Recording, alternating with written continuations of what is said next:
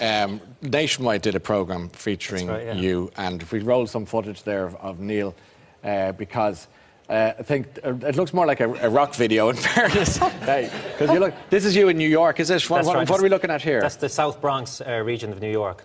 And I believe your mother was giving you a bit of uh, slagging, was she? She was giving me a bit of What was she saying to you? Uh, when I came home, well, to be honest, after that nationwide piece was done, I was trying to do my best not to read a lot of the comments that were being written online. What sort of comments were they, Niall? Uh, well, we might ask my mother. She's sitting here in the crowd with me, so. But I came home. I tried. I did my best to try and avoid reading the comments. But I came home uh, into the house one day, and Mum had the laptop open, and she began to read out what some of the women had been writing about me. Now it was embarrassing enough hearing what they had said, but when your mother is reading it to you, it makes it even worse. Trust me. I think one of know. the comments was, I was thinking about going to Mass anyway. I don't know. Uh, I think